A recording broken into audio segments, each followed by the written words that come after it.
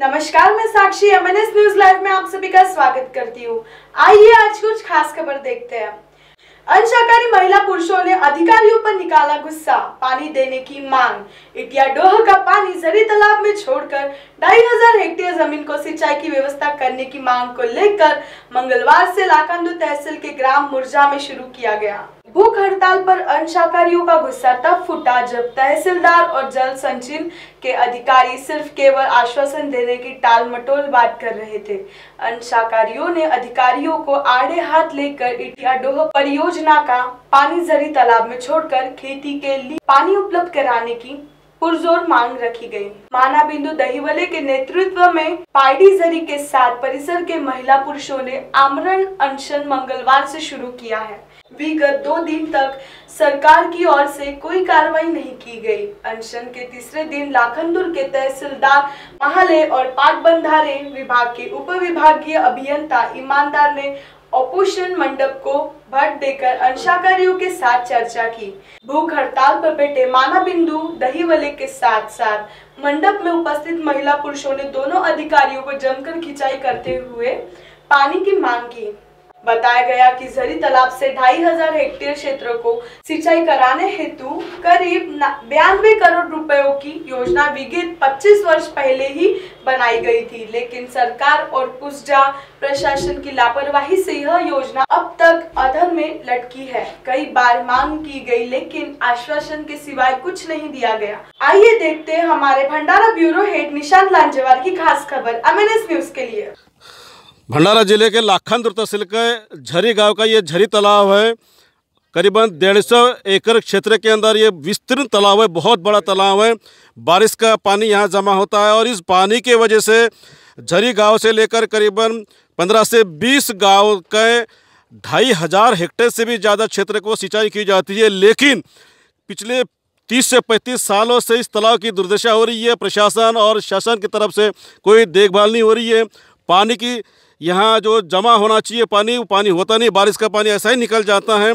और कई वर्षों से इसकी मांग की गई है, लेकिन यहाँ प्रशासन बिल्कुल ध्यान नहीं दे रहा। आप देख सकते हो बहुत बड़ा तालाब है बहुत बड़े तालाब के अंदर आज की स्थिति में बारिश खत्म होने को अभी समय बाकी है लेकिन तालाब के अंदर पानी नहीं है क्योंकि यहाँ पानी की जमा जो होता है पानी वो पानी जमा नहीं हो सकता क्योंकि यहाँ पूरी व्यवस्था नहीं है। यहाँ बताया जाता है कि 2500 से ज़्यादा हेक्टेयर हेक्टेयर को यहाँ की सिंचाई की व्यवस्था होती है लेकिन कैनल्स बने हैं नहर बनी हुई है खेत को जाने के लिए पा, पानी के रास्ते मतलब छोटे छोटे नहरें बनी हुई हैं लेकिन नहर में अभी पानी नहीं है, क्योंकि तालाब के अंदर पानी नहीं है। पिछले 2002 में बहुत बड़ा आंदोलन यहाँ पर किया गया था। यहाँ के सरकार कांग्रेस की थी, हमारे यहाँ के पालक मंत्री अनिस अहमद जी थे। उस पीरियड में उन्होंने इस तालाब की खोलीकरण करना और इटारों का पानी इस तालाब के अंदर लाने की बात कही थी। इसका एस्टिमेट भी मंजूर किया गया था, लेकिन सिर्फ़ कागजात पर एस्टिमेट बना है, वास्तव में अभी तक इटारों का पानी इस झरी तालाब के अंदर नहीं लाया गया। मसलन यह है कि यहाँ व्यवस्था तो सरकार की मंशा बिल्कुल नहीं है व्यवस्था करने की, किसानों को पानी देने की मंशा बिल्कुल नहीं है। इस वजह से बारिश के पानी के ऊपर निर्भर जो खेती होती है, आखिरी के एक पानी के लिए यहाँ के हज़ारों किसानों की फ़सल डूबती है, उनके हाथ में फ़सल आती नहीं है, फ़सलें बर्बाद हो जाती है। अगर एक आखिरी का पानी मिल जाए तो यहाँ के हज़ारों किसानों का इसका लाभ मिल सकता है। करीबन ढाई हज़ार से भी हेक्टेयर क्षेत्र सिंचाई के अंदर आ सकता है, लेकिन ज़रूरत है प्रशासन को और शासन को निर्भरता से, निश्चितता से यहाँ इटाडो का पानी इस तालाब के अंदर लाना और यहाँ पानी लाकर यहाँ का पानी किसानों को पहुँचाना। क्या राज्य की सरकार इटाडो का पानी ईमानदारी के साथ इस तालाब के अंदर लाने वाली है और यहाँ लाकर यहाँ तालाब के नीचे जो ढाई हज़ार क्षेत्र जो सिंचाई के अंदर आ सकता है, उसको पानी की उपलब्धता करवा के दे सकती है।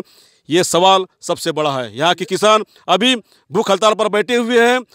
किसानों के अंदर रोष है, किसानों के अंदर गुस्सा है, लेकिन इस गुस्सा को क्या राज्य की सरकार, बीजेपी की सरकार सुन पाएगी?